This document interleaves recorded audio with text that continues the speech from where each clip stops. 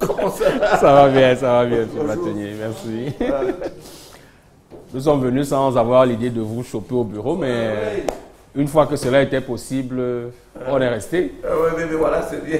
Nous, nous avons euh, vraiment apprécié le fait que vous nous ayez reçus à votre résidence, mais également aujourd'hui à votre bureau. Et nous donnons la possibilité dans aux téléspectateurs de voir quel est votre parcours, puisque vos titres sont nombreux.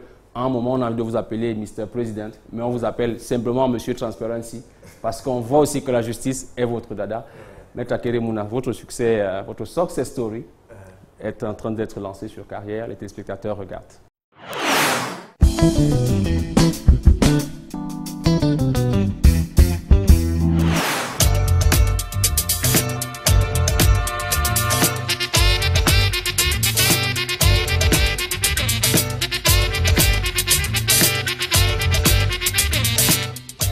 Je suis Akere Mouna, je suis avocat et je le suis depuis 1978.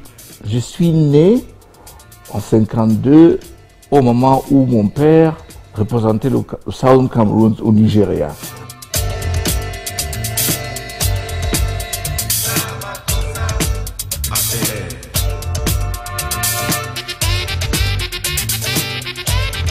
Mon école primaire s'est passée à Boya. En 61, après la réunification, mon père est nommé ministre à Yaoundé. Je finis donc l'école primaire, je reviens sur Yaoundé et je suis inscrit avec la première promotion du collège bilingue d'application. Il n'y avait que deux salles de classe. C'était créé là-bas à côté de l'école normale qui venait de construite d'ailleurs. Et on était à l'internat au lycée Leclerc. Je fais donc jusqu'en quatrième. On est en 68 et mon père est donc nommé premier ministre du Cameroun occidental. Et c'est là que je vais donc aller euh, à Boya une fois de plus et transférer cette fois-ci au collège, au lycée bilingue. Je me rappelle de Moliko à Boya, ça fait oh, peut-être 7 km, hein, j'étais au dortoir. Bon, quand il m'arrivait de, de, partir à la maison le week-end, quand je demandais à mon père si euh, un jour je pouvais me déposer, il me disait, écoute mon ami, cette voiture, voiture appartient au Premier ministre. Alors, toi tu repars à l'internat, soit tu prends un taxi comme n'importe qui, ou bien tu vas à pied. Et vous, ça vous faisait quoi? J'étais un peu choqué, si vous avez si ce gars, c'est vraiment mon père, parce qu'il y a au moins 10 voitures là dehors, et le gars me demande de prendre le taxi de marcher à pied. Donc moi, j'ai fait le brevet d'études en français, que j'ai eu à l'oral, et puis je reste au lycée bilingue. Euh, je fais les deux ans, je fais le, le, le bac, et je reviens à Yaoundé. Mon père était déjà président de l'Assemblée. Mon père était euh, strict, dans le sens qu'il pensait que je devais comprendre que on devient quelque chose parce que l'on fait. Tu ne peux pas devenir quelque chose ou quelqu'un parce que mon père a fait. Ça n'a pas de valeur. Pas du tout. Donc, dès ces âges-là, ce que j'apprends, c'est ce que, bon, mon devenir dépend de moi. Et euh, mon père me disait seulement, what you do, do it well. Ce que tu fais, fais-le bien.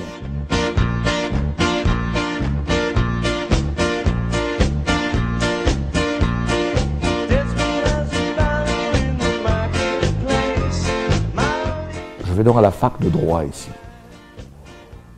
Et j'ai fait, fait, je crois, six mois. Mais je, ne sais pas si je me serais sorti si j'étais resté.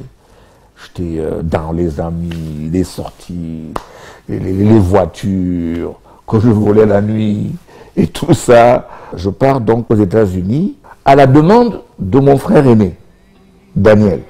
Euh, à l'époque, j'aimais trop Jimi Hendrix. Je pense que mon père a dû lui écrire que vraiment, ton petit frère là, je comprends pas. Euh, il a des affiches de Jimi Hendrix, euh, il habille avec des t-shirts avec des têtes de gens dessus. Euh. donc je vais donc aller à, Washington. Euh, j'arrive là-bas et je décide de m'inscrire en relations internationales et droit international. Mais je savais toujours que je, je voulais être avocat.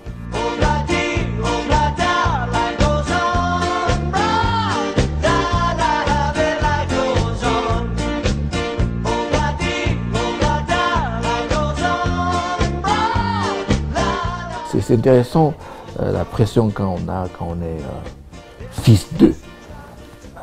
parce que quand j'arrive à Londres, tout le monde dit Ah, maintenant il va avoir les vraies études.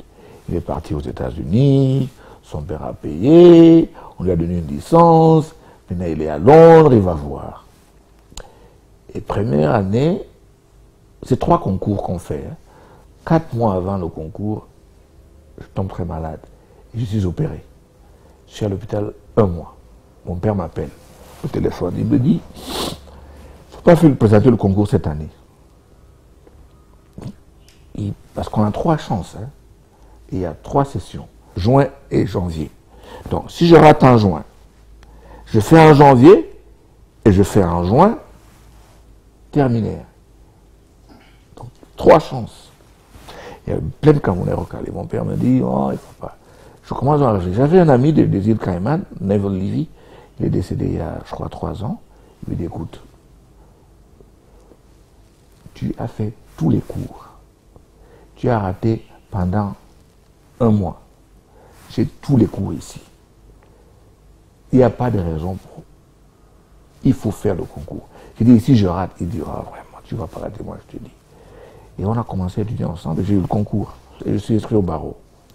Ce qui est intéressant, c'est que quand je deviens non-avocat, je suis dans la première promotion des avocats anglais qui ont été formés dans ce qu'on appelle le droit du marché commun de l'époque, qui est aujourd'hui l'Union européenne. Et ça veut dire que c'était facile pour moi de trouver un boulot à Bruxelles. Parce que j'étais plus ou moins bilingue, j'étais avocat formé à Londres. Donc si je partais à Bruxelles à l'époque, c'était tout près.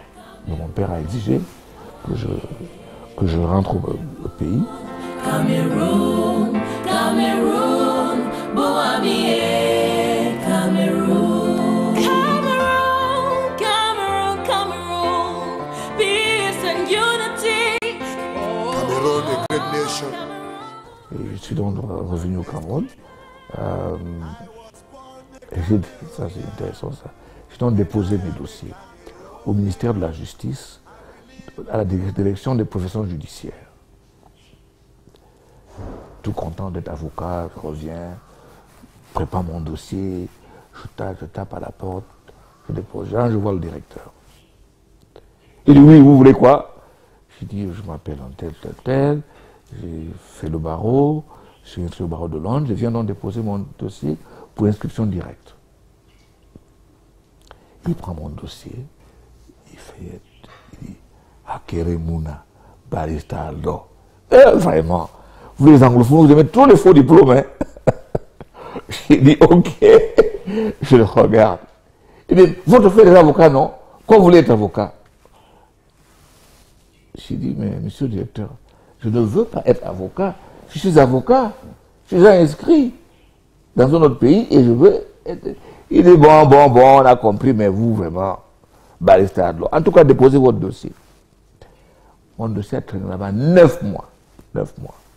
Et puis, oh, moi, j'entends arrêter la radio, acquérir mon admis à être avocat stagiaire. Je dit, c'est pas vrai. J'avais des camarades de classe revenus de Londres, même classe, peut-être seulement même jour, directement avocat. On est en 79 ans. Bon, avocat stagiaire au cabinet de maître Bernard Mouna. Je dis, c'est pas possible ça. Alors, dès que j'entends ça, j'entre dans ma voiture. En pleine colère, je fonce à la résidence. Mon père faisait la sieste. Alors, la chose qu'il ne faut pas faire, s'interrompt mon père quand il fait sa sieste, parce qu'il le faisait pour 30 minutes. Tu blagues. Ah, j'ai le droit même sans frapper. Je suis entré. Il se lève, il me regarde. Et ce que j'ai fait que je ne dois pas faire. Donc, il ne doit pas gronder, il doit savoir ce qui se passe. Il me dit, what's going on? Qu'est-ce qui se passe? Je dis, mais dis, attends, dans la radio, on m'a dit que je suis avocat stagiaire. Je ne suis pas avocat stagiaire, je suis avocat. Il me regarde. Il dit, mon fils, ton problème, c'est la vanité. Est-ce que tu portes la robe? Je dis, oui, papa. Est-ce que tu plaides? Je dis oui, papa. Il dit quelle est la différence? Parce qu'on t'appelle l'avocat stagiaire, il dit que ton problème, c'est la vanité. Alors, retiens ceci. Il me regarde et me dit, on peut te ralentir, mais on ne peut pas t'arrêter. Alors, laisse-moi ces histoires-là et rentre dans ton boulot. Je sors de là, je dis, mais ce gars, deuxième personnage de la République, il peut parler à Idio quand il veut. Un petit directeur me fait malmener. Et c'est tout ce qu'il peut me dire.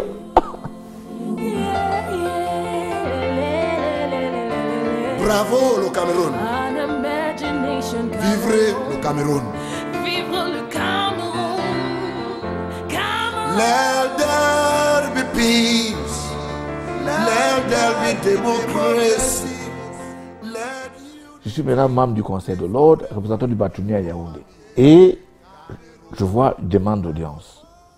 Je regarde. C'est le directeur qui m'avait reçu quand je suis arrivé. Maintenant retraité, il voulait être avocat. Il vient donc déposer son dossier au barreau. Et il entre. Il me dit, bonjour, monsieur le bâtonnier. Ah, je dis, parce qu'il était à la Cour suprême avant de sortir. Ah, bonjour, monsieur le conseiller. Il s'assoit. Je sors. Je le laisse dans mon bureau, je sors. Je respire, je dis, ça, vraiment, même ville, même situation. Seulement que maintenant, c'est moi qui le reçois, c'est pas lui qui me reçoit. Incroyable. Je regarde. Dis, quel test Je rentre. Je lui dis ceci. Je dis, monsieur le conseiller, quand je suis rentré de Londres, c'est vous qui m'avez reçu. Hein? Alors je vais vous renvoyer l'ascenseur. Je dis comme ça. Il me dit, monsieur le bâtonnier, ne me renvoyez pas l'ascenseur en mal. Et ça, c'est intéressant. Parce que le gars devait être conscient qu'il a fait beaucoup de mal aux gens, mais pourquoi, me dit-il, ne me renvoyez pas l'ascenseur en mal? Je n'avais rien dit, je vous renvoie l'ascenseur. C'est- intéressant cette histoire. Et je prends son dossier. Et c'était évidemment quand je pars au conseil, euh, Monté Patu, c'était bâtonnier, j'étais représentant à Yaoundé. Et je sors la demande du gars. Oh, tous les membres du conseil disent que le gars, si, il doit se présenter devant nous. Et on va le cuisiner. Et on va voir s'il va devenir avocat ou non. Je lui ai dit, écoutez, ce monsieur était à la Cour suprême, la plus haute instance de notre pays, il est maintenant la retraite. Je pense qu'il faut qu'on la mette directement, sans l'interroger. Oh, les gars d'Iakéré, c'est comme ça, tu es. Tu nous amènes pas l'histoire d'église ici. Le gars, il va voir ce qu'il va voir. Alors, Patrice dit bon, on passe au vote. Dites-vous bien, tout le conseil, sauf moi, contre. Je regarde Patrice, je dis mais on ne peut pas faire ça. Il me dit, en tout cas, il, aime, il veut même être où? On dit au centre. Le représentant du centre dit c'est maître, maître, Mouna. Bon, écoutez, quel est votre avis? Je dis que on a admission directe. Il dit bon, admission directe. C'est comme ça, donc, euh, il est réinscrit au barreau. Euh, il est inscrit, pas réinscrit au barreau. Je raconte ça pour vous dire que si je n'avais pas eu l'éducation que j'ai eue, où euh, j'avais un, père qui agissait contre les passe-droits, vous voyez, donc euh, euh, ça allait être dur pour moi d'avaler ça. Et c'est ça qui m'a poussé plus tard à agir plus à l'étranger dans ce que je fais.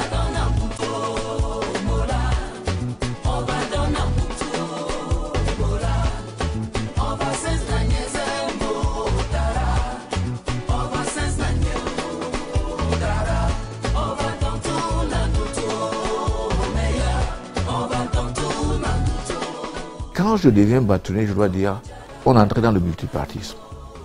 Quand j'arrive dans le barreau, je trouve un barreau sans siège. Les avocats n'avaient pas de dossier. Euh, les relations avec l'extérieur n'étaient pas très poussées. Donc, première chose, c'était pour avoir un siège. J'ai mis en place un siège. J'ai informatisé le barreau. J'ai créé toute première bibliothèque. J'ai jumelé le barreau du Cameroun avec 12 barreaux français. J'ai fait former, avec l'aide de la France et les confrères en France, le tout premier administrateur du barreau, donc professionnellement formé pour faire ce travail. On a maintenant eu des cartes euh, professionnelles informatisées. Et j'ai fait de sorte que chaque avocat, euh, personne n'avait un dossier. J'ai essayé de faire de sorte que l'examen du barreau était, était, était, était, euh, régulier. Et du côté probité, dès le début de mon mandat, j'avais dit aux confrères, j'ai dit, écoutez, entendons-nous. Si un avocat bouffe l'argent d'un client, il a volé. Surtout quand le client ne sait même pas que, n'est-ce pas, on lui a payé cet argent. Donc on va essayer d'abord d'amener l'avocat à reverser. S'il ne le fait pas, s'il passe au conseil, on le radie. Et euh, bon, ben écoute, dans mon mandat, donc, euh, on a eu au moins 12 radiations. Il est vrai qu'il y en a qui ont été réhabilités par la Cour d'appel, ça c'est une autre histoire, mais à mon niveau, c'était clair et ça a touché des avocats quand même assez importants et anciens, hein, pour des, histoires euh, peu honorables.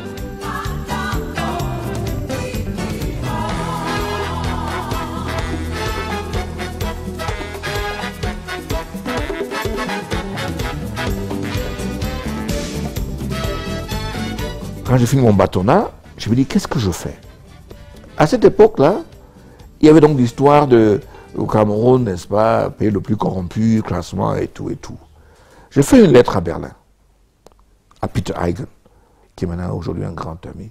Je dis que je suis le bâtonnier, je veux faire un séminaire sur la cor- corruption et le blanchiment d'argent. Vous avez classé notre pays. Mais Dites-nous, comment est-ce que ça se passe? Je me rappelle, si j'étais membre du comité ad hoc lutte contre la corruption, que présidait le Premier ministre. Donc j'ai eu une réponse positive. Hein. Peut-être qu'il dit, bon, je vais venir à, ce séminaire et tout. Et j'annonce donc au comité ad hoc que ben, on va avoir un séminaire de 100 personnes euh, pour euh, Transparency. euh, le président fondateur vient ici. Donc. Et le Premier ministre me fait ceci. Vous pensez qu'il va venir ici? L'État a essayé à plusieurs reprises de l'inviter, mais il n'est pas venu. Vous pensez que le barreau peut le faire venir? Ben, en tout cas, on verra. Je pense donc que c'est quand son passeport part à l'ambassade d'Allemagne pour le visa que l'information vient donc au Cameroun. Et là, dessus le père m'appelle. Il me dit, Monsieur le bâtonnier, je suis le Premier ministre. Et puis, ah, je dis, mais je vous avais annoncé qu'il allait venir. Et il me dit, je peux venir inaugurer cette réunion? Je dis, Monsieur le Premier ministre, vous êtes Premier ministre, vous, non seulement à cause de nos relations, mais vous, vous inaugurez euh, n'importe quelle réunion que vous voulez. Le Premier ministre à l'époque, c'était le Premier ministre Moussongue. Un homme extraordinaire. hein. Voilà donc, Peter Hagen vient au Cameroun, euh, il est par-ci, il est par-là, il voit tout le monde. Et en partant donc, on est tous dans la salle. hein. Il dit, bon, je pars, mais je désigne Akere Mouna comme la personne chargée de créer la session camerounaise. Il, me regarde, je le regarde. Dis, OK with this, aren't you? I yes, sir. Je savais pas au courant, je n'étais pas au courant parce qu'il y avait un lobby incroyable pour pouvoir euh, euh, capturer euh, cette présidence-là. C'est comme ça que je rentre dans Transparency National.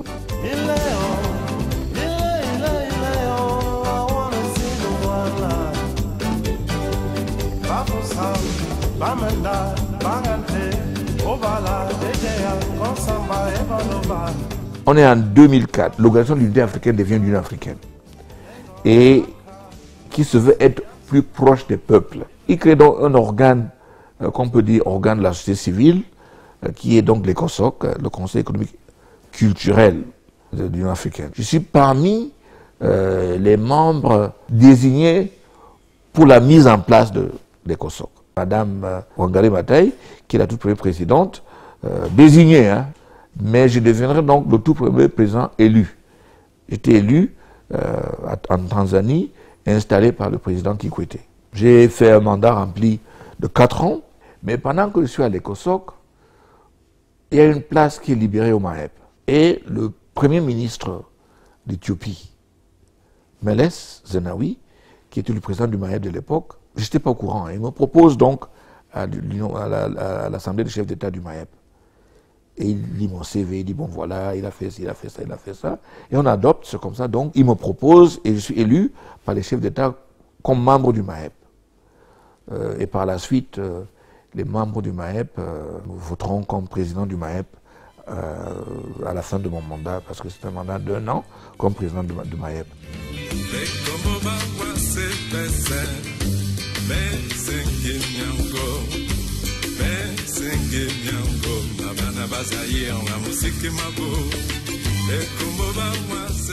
À la jeunesse, il ne faut pas se décourager.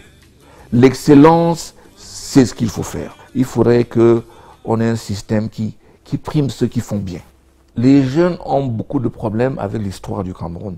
Ils ne savent pas qui a fait quoi, euh, qui faisait quoi, pourquoi on a fait ci, pourquoi on a fait ça. Si j'ai un jeune devant moi qui, qui se cherche, comme on dit, première chose c'est le travail, deuxième chose c'est le travail, troisième chose c'est le travail. Euh, ça finit toujours par payer.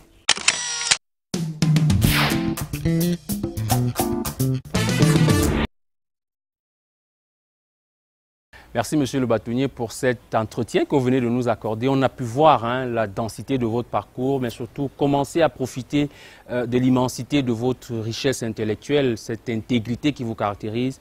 Et euh, moi, j'ai eu envie de vous baptiser en sortant de là, Monsieur Transparence, euh, tellement vous êtes accroché à la justice. Pouvez-vous nous dire si ce parcours ne- n'est fait que de réussite, parce que c'est ce que l'on retient, mais je veux dire, qu'est-ce que vous avez gardé vous-même aujourd'hui comme leçon essentielle de cette trajectoire? C'est le travail, Oui. la persévérance, la tolérance, le respect du prochain et de saisir chaque échec comme une occasion de rebondir. Parce que euh, les gens qui n'ont jamais d'échec, euh, Sans ceux qui n'ont rien essayé. justement, justement, Merci aussi de nous avoir permis de comprendre que euh, même lorsqu'on est dans une famille déjà aisée socialement, même lorsqu'on est fils d'eux, selon l'éducation qu'on a eue, il faut travailler. Qu'est-ce que vous dites à ceux qui peut-être sont fils d'eux ou pas fils d'eux, puisque c'est une de vos préoccupations aussi dans le cadre de votre fondation il faut être fier de la réussite de ses parents. Hein, Il faut être fier de la réussite de ses parents. Mais il ne faudrait pas que l'échec de ses parents vous empêche de faire mieux. Il y a trois choses, à mon avis, que je considère comme les pierres angulaires d'une société. L'enseignement, parce que euh, je suis enseigné. Le jugement, on a parlé de christianisme. Donc, et soigner. Donc, dans une société, si vous protégez la santé, la justice, l'éducation, ça c'est mon avis. Vous avez déjà fait 50% du chemin. Qu'est-ce que vous souhaitez aux jeunes qui sont dans la profession d'avocat, mais en fait, qu'est-ce que vous souhaitez à la profession d'avocat au Cameroun, au barreau camerounais? Qu'est-ce que vous pouvez leur dire de faire encore pour honorer cette profession? Je pense que l'État qui mine notre société n'épargne aucune profession. Et parmi lesquelles, je veux parler de la corruption. Et je pense que l'avocat qui contribue à promouvoir la corruption, si la branche sur laquelle lui est assis. Parce que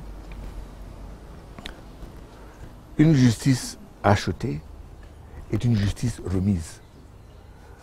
Parce que quand vous l'avez achetée, tôt ou tard, quelqu'un d'autre va l'acheter. plus cher que vous. Il y a Roosevelt qui disait souvent que celui qui, qui, celui qui vole pour vous finirait par vous voler vous-même. Monsieur le bâtonnier, maître Akeremouna, vous êtes euh, né dans la politique, pour reprendre une expression contemporaine, vous êtes tombé dedans étant tout petit, et on a le sentiment que vous la fuyez, elle vous poursuit, mais peut-être que vous-même, vous la faites sans la faire. Non, je ne sais pas, parce que aux premières heures de la création du, SDF, j'étais actif, j'étais parmi ceux qui ont écrit les statuts du SDF, mais ça participe d'une déception. Dé- déception parce que euh, je me suis rendu, compte que euh, il n'y a pas de changement si on veut faire la même chose. Donc je me suis dit, écoute, moi, je, je veux me cantonner à ce que je sais bien faire, la société civile, les choses à l'étranger, l'international et tout. Euh, mais la politique, politique m'intéresse tout au premier plan. Ma question est celle-là, l'avenir de maître Akeremouna, Bon, écoute, moi, moi euh, j'ai de comptes à rendre à, à ma conscience. Et euh, euh, c'est bien flatteur ce que j'entends écrire le moi, euh, tant mieux.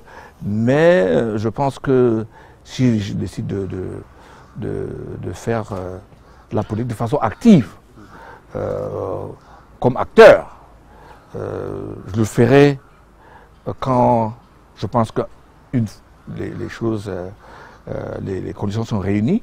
Deuxièmement, quand je pense que je pourrais apporter une, une plus-value. Et en attendant ce moment-là, à l'immédiat, quelles sont vos activités actuelles dans quoi est-ce que vous allez vous investir un peu plus dans les prochains mois? Bon, écoute, euh, la fondation qui porte le nom de mon père est très importante. Elle est là depuis déjà plus de, de 8 ans. Euh, nous attendons la, reconnaissance comme utilité publique parce que nous faisons pas mal de choses. On a un projet là qu'on est en train de monter pour aider euh, des réfugiés dans l'extrême nord. On est en train de travailler sur ça. Et je fais un travail à la base qui est celui de voir dans le côté de la corruption dans l'octroi des marchés. C'est un travail énorme parce que je suis tout premier commissaire aux sanctions. C'est un travail qui me passionne. Mais entre-temps, j'ai beaucoup d'invitations par-ci et par-là. Maître Akeremouna, Monsieur le bâtonnier, Monsieur le Président, parce que dans votre CV, vous êtes plusieurs fois président de différentes instances, dans différentes organisations. Merci d'avoir accepté que l'équipe de carrière vienne à votre résidence pour retracer votre parcours. C'est moi qui vous remercie et je dois vous féliciter pour ce que vous faites parce que euh, ça tombe euh, en droite ligne dans ce que je dis. Il faudrait que nous puissions ensemble aider ceux qui viennent après nous, euh, puissent avoir les capacités pour pré- préparer un monde meilleur pour ceux qui viendront après eux. Voilà, Merci. c'est moi. Merci.